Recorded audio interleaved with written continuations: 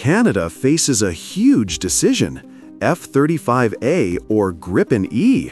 One is stealthy, advanced, and fifth generation. The other is fast, flexible, and cheaper. But which truly dominates? F-35A, 43,000-pound thrust with afterburner, unmatched stealth, and world-class AESA radar. Gripen E, Mach 2, lighter payload, lacks stealth, but faster and agile. F-35 wins in sensors, upgrades, and future potential.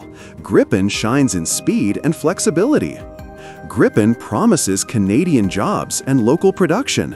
F-35 already 3.3 B in Canadian contracts. Operating costs are closer than you think. Gripen 22K per hour, F-35 30K per hour. Both face rising costs due to inflation and global factors.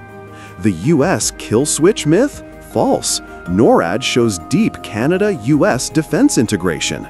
F-35's long-range detection and sensor fusion make it perfect for Arctic defense.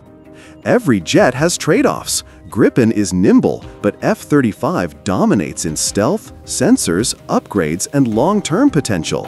Assessments from Finland and Norway confirm F-35 outperforms Gripen in mission capability and technical readiness.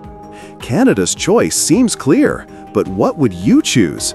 Comment below, like, subscribe, and hit the bell for more Skyjet Wings fighter jet insights.